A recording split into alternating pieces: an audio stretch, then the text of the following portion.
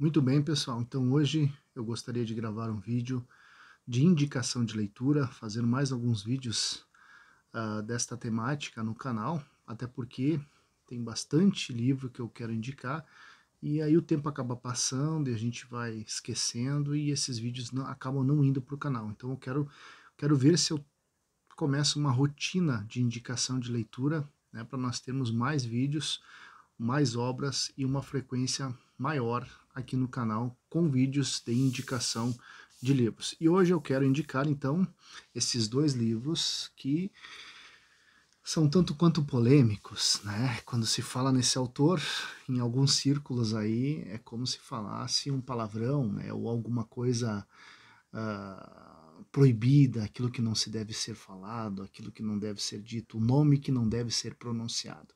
Eu quero falar então sobre os diários do professor Olavo de Carvalho. Eu tenho aqui então os dois volumes, tá? volume 1 e volume 2, são dois livros consideráveis, né? Conteúdo aí para um bom tempo de leitura. Bom, o que, que consiste estas obras? Então, uh, foi pego, né? E foi feita uma catalogação e uma organização das publicações que o Olavo de Carvalho fez no seu Facebook, a sua obra, a, a, a sua rede social. E aí é justamente estas publicações, essas postagens que ele fazia diariamente no seu perfil, que acabaram então sendo reunidas e se tornaram então estes dois livros Há, existem previsões de terem mais volumes né, posteriormente, mas por enquanto publicados somente esses dois livros. Então, o volume 1 que eu tenho aqui na mão são as publicações feitas do ano de 2013 até o ano de 2015. Então, uh, o próprio Olavo, tá, ele diz que uh, o Facebook, né, ele fez do Facebook como que uma... Uh, um diário filosófico, tá? Então, onde ele aborda muitas coisas, muitos assuntos, absolutamente uh, são saltos, né, de um, de um assunto para outro. Você não tem aqui uma uma cronologia de assuntos em que você tem início, meio e fim, uma explanação mais aprofundada, um aprofundamento, né? Não. Aqui você tem as, os mais variados assuntos dispostos na ordem mais variada possível. Afinal de contas, eram, eram insights, pensamentos e questões, questionamentos que o professor Olavo fazia diariamente conforme as coisas que ele estava estudando, conforme as coisas que ele estava ensinando e conforme os acontecimentos da época. Então, você tem aqui discussões dele referentes a alguma polêmica que estava acontecendo exatamente naquele momento, naquele dia ou naquela semana, e você tem aqui também aforismos, né, artigos, pensamentos, né, que são mais aprofundados, digamos assim. Você tem desde coisas básicas e breves até coisas de três, quatro páginas, uma coisa mais aprofundada, um artigo mais aprofundado sobre determinado assunto. Por que, que é interessante você ter essa obra?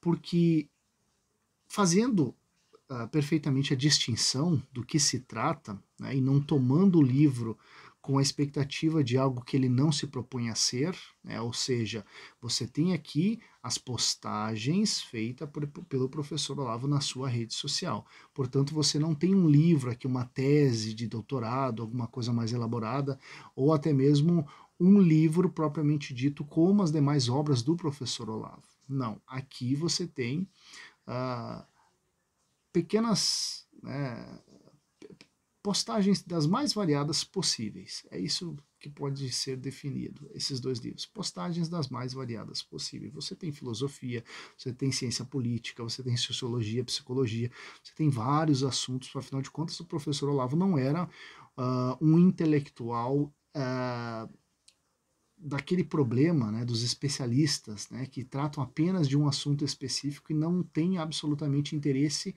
e abertura para demais conhecimentos. Não, Olavo de Carvalho ele falava de tudo um pouco, né? Ele tinha essa esse interesse, a busca dele foi o interesse por entender a realidade, principalmente a questão da realidade humana, Então ele pesquisava estudava sobre os mais variados assuntos e, na maioria deles, ele tinha muito a dizer.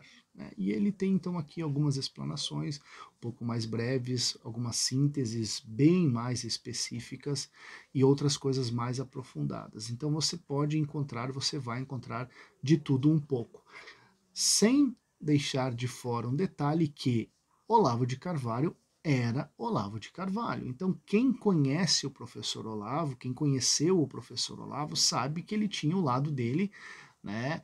Uh, irônico, debochado, né, sarcástico né, e ofensivo, e ele falava bastante palavrão, então os palavrões do professor Olavo vão estar também por todas as páginas desse livro. Se você é um purista, no sentido de que não pode ver um palavrão, né, porque tem os dodóis, né, que, ai, porque um palavrão, porque falou uma coisa dessa que é absurdo, e aí ignoram a obra.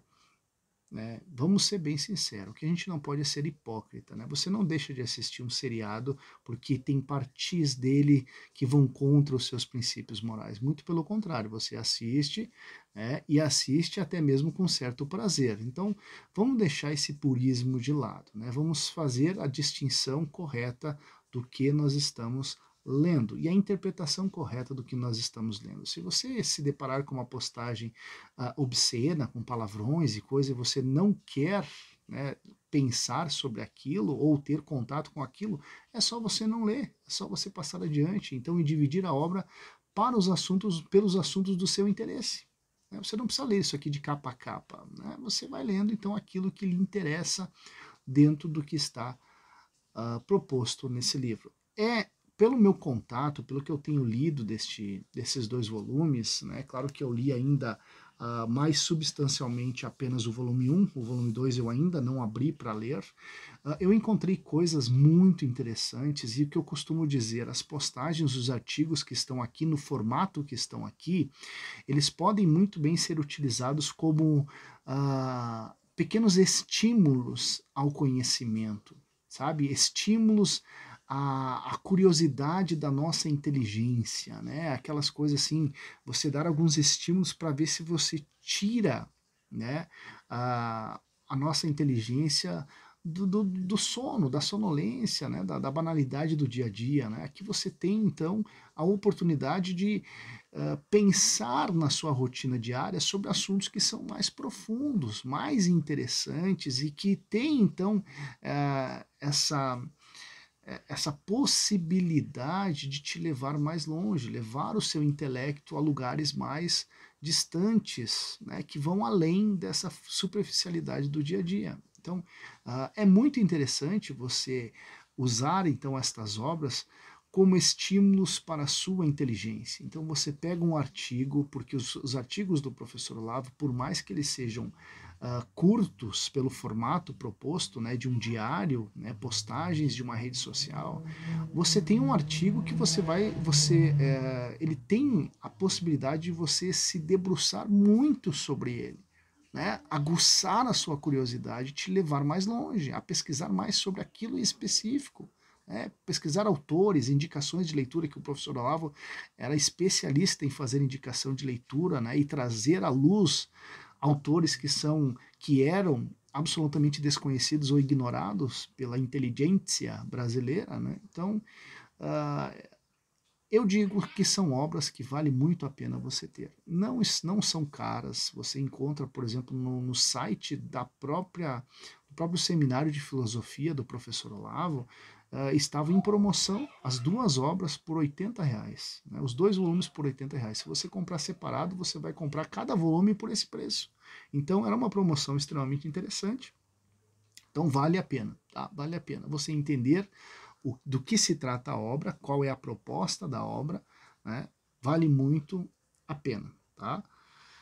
Então essa é a minha indicação neste primeiro livro, né, os dois diários filosóficos, então, do professor Olavo. Né, e aqui você tem, além de comentários, como eu já expliquei, você tem, tem também né, a, comentários que tratam da própria vida, né, do, do, das próprias. Uh, das próprias uh, dificuldades, da, daquilo que o professor Olavo passava no seu dia a dia. Ele conta sobre a sua infância, né? ele, conta muito, ele conta muitas histórias né? que, que passou-se na vida dele com pessoas que ele conheceu. Então, tem muita coisa interessante, tá? Tem muita coisa interessante. Claro que você tem aquela parcela de professores universitários e professores até mesmo de escola que falam muito mal do professor Olavo, né, ridicularizam, né, levam ele ao ridículo. Uh, mas uma coisa que eu acho interessante, né, se você pegar somente esses dois volumes de postagens né, e a amplitude potencial destas, deste conteúdo, desses livros, pode ter certeza que somente esses dois volumes né, tem muito mais do que o seu professor, que falou mal do professor Olavo, produziu na vida dele ou irá produzir. Muito, muito mais conteúdo e relevância do que esse seu professor chato marxista que projeta a própria incapacidade, insucesso e o fracasso de uma vida acadêmica absolutamente irrelevante, projeta nos outros, né? E daí com uma, uma, uma carga muito elevada de inveja, né? acaba destruindo, tentando destruir a reputação do professor Olavo. Mas tem uma coisa, né? Você que já saiu então do colégio, você que já saiu da faculdade, eu aposto, uh, eu aposto contigo que você não lembra o sobrenome desse seu professor que era xarope e falava mal do professor Olavo. Mas do Olavo de Carvalho, até hoje você está ouvindo. então é o que eu sempre costumo dizer: é fácil falar mal, difícil é fazer melhor. Tá, pessoal? Então, até a próxima indicação. Diários Filosóficos do Professor Olavo, volume 1 e volume 2. Eu só não falei uma coisa, tá? O volume 2, então, trata das postagens do ano de 2016. Tá? Então, fala muito sobre a questão ali do impeachment da Dilma, né? Ah, os comentários políticos do professor Olavo, então, estão bem expostos aqui, né? Afinal de contas, ele estava lidando com isso no seu dia a dia, tá? Então, Uh, ele trata muito desses assuntos, né? Ele faz muitos comentários extremamente pertinentes, pelo menos para aguçar a nossa percepção das coisas, né? Porque tem muita gente que só é alguma coisa hoje na política por causa do professor Olavo de Carvalho, mas depois que alcançou o seu tão desejado carguinho público, age como se o Olavo de Carvalho fosse irrelevante. Ah, que coisa séria, né, pessoal? Mas, finalizando então, Diários Filosóficos Olavo de Carvalho. Compre, leia e coloque alguma coisa de útil nessa sua caixolinha aí, tá, pessoal? Valeu!